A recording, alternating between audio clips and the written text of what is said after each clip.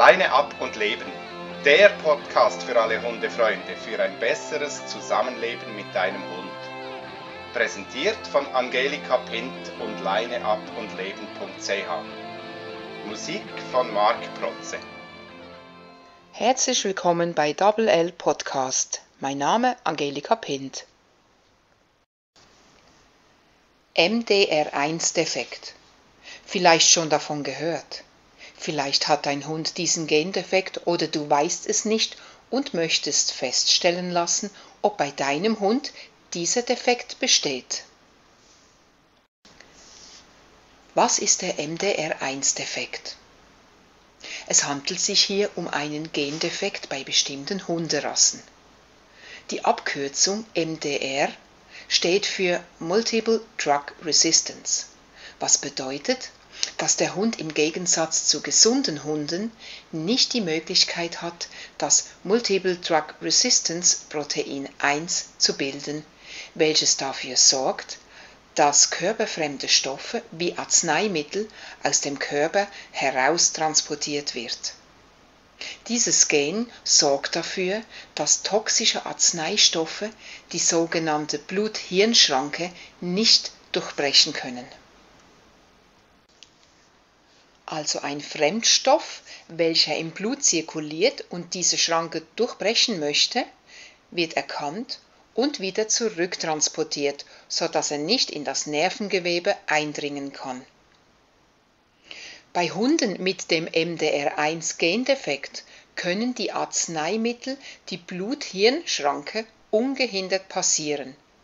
Bedeutet, eine bis zu hundertfach höhere Konzentration wird erreicht und verursacht eine große gesundheitliche Schädigung.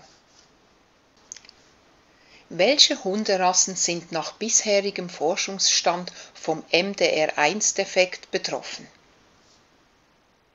Es wird angenommen, dass der MDR1-Defekt auf einen Hund zurückgeht, der zu großen Teilen an der Entstehung des Collies beteiligt war. Bevor man das verantwortliche Gen entdeckt hatte, sprach man von der Ivermectin-Überempfindlichkeit des Collies.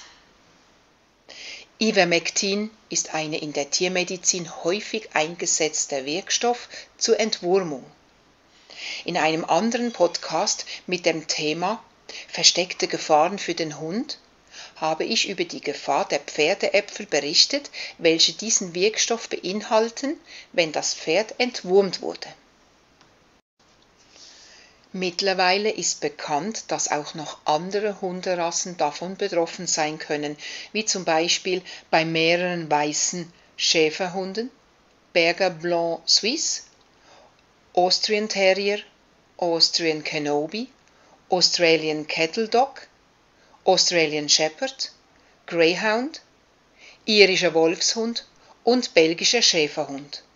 Also insbesondere Hütehunde sind meist davon betroffen.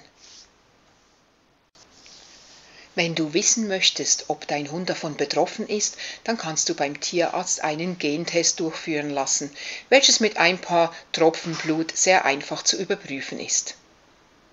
Hast du deinen Hund von einem Züchter gekauft, dann ist die Gefahr eher gering, wenn beide Elternteile frei von diesem Defekt sind, also das Gen ein Plus-Plus beinhaltet.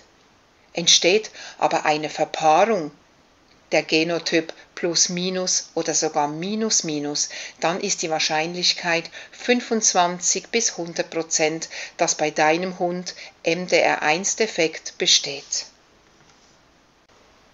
Welche Medikamente sind für diese Hunde gefährlich? Es gibt doch eine recht hohe Anzahl von gefährlichen, lebensbedrohlichen Arzneimitteln, allen voran das Ivermectin welches zum Entwurmen der Pferde eingesetzt wird. Dein Tierarzt wird dir sicher sehr gerne eine Liste der Medikamente, welche gefährlich sind, abgeben. Sollte dein Hund betroffen sein, dann brauchst du nicht in Panik auszubrechen. Betroffene Hunde können ein weitestgehend normales Hundeleben führen, wenn man sich an wenige Regeln hält. Wenn du sicherheitshalber bei deinem Tierarzt für jede Medikamentengabe dies ansprichst, dann wird er dies sicher in der Akte deines Hundes vermerken. Ich hoffe, ich konnte dir mit diesem Podcast neue interessante Informationen mit auf den Weg geben. Wir hören uns wieder beim nächsten Podcast. Ich sage bis auf ein weiteres Tschüss. Werde Premium-Mitglied und du erhältst exklusive Videos, Workshops, Tutorials und Wissenswertes. Infos direkt auf www.leineabundleben.ch